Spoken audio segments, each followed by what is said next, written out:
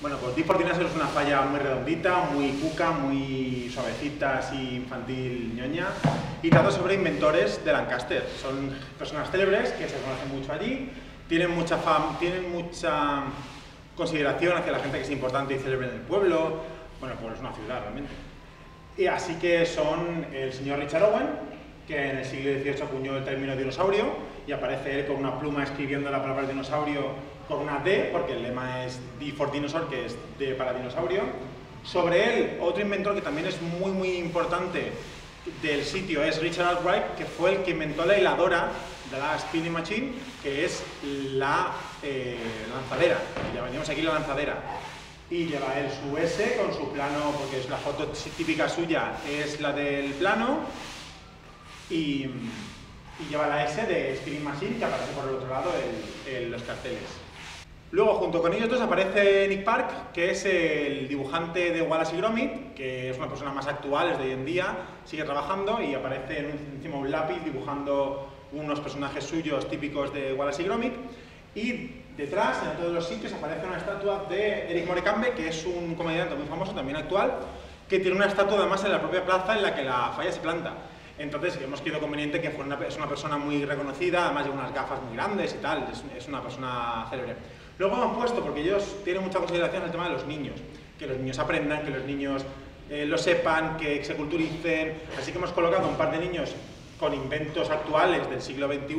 como que les gustaría que fueran los nuevos inventos de cara al futuro,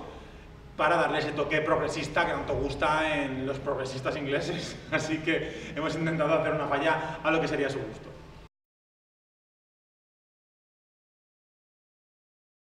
Pues la falla es un cajón de 2x2x2 y realmente lleva una superestructura de alrededor de madera y va toda muy empaquetada y todo eso, porque la idea es paletizarla como si fuera un palé de camión, solo que más grande, porque como veis el tamaño es de 2x2,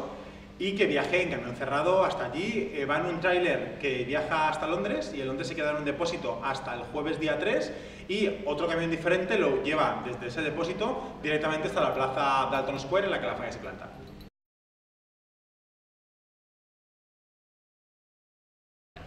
Pues parece que la gente de Lancaster no conoce mucho las fallas, que es de esperar, puesto que es otro país.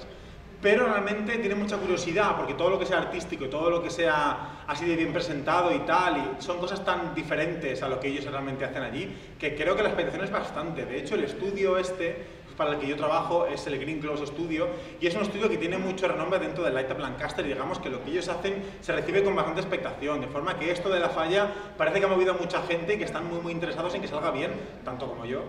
pero parece que, tiene buena pinta por lo menos. Lo que pasa es que ha sido muy difícil toda la gestión. Si ya es difícil hacer una falla en Menicarló, pues hacer una falla en Reino Unido, que encima es otro país con otra divisa distinta, pues es complicado. Pero realmente yo pienso que hay buena voluntad y buena praxis por ambas partes y realmente yo tengo buena esperanza con este tema.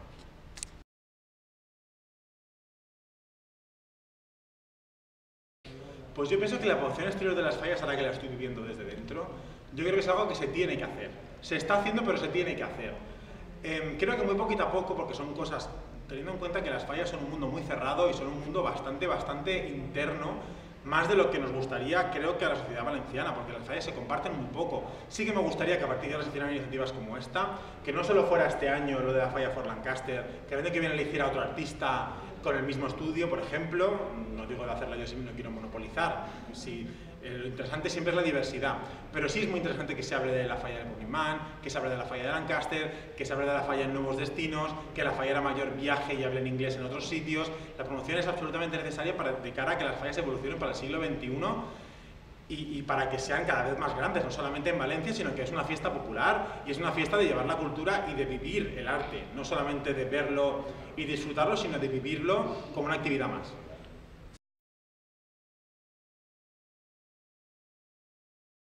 De entrada, todos los que trabajamos en talleres falleros tenemos el arte muy a mano, porque para mañana hay que hacer tres figuras,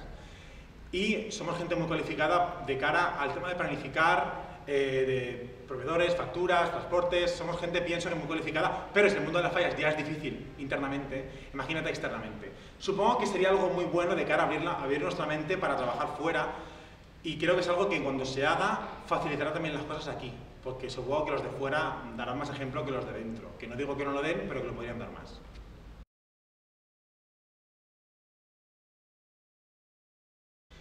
Hi everyone, I'm Mario Waltz, a fire artist from Valencia, and I just want you to welcome to share the fires of Lancaster and let's mix every festival so we can live the art and share the moment. So I invite you to and everyone to live the fires of Lancaster and let's finally the party start and let the fires begin.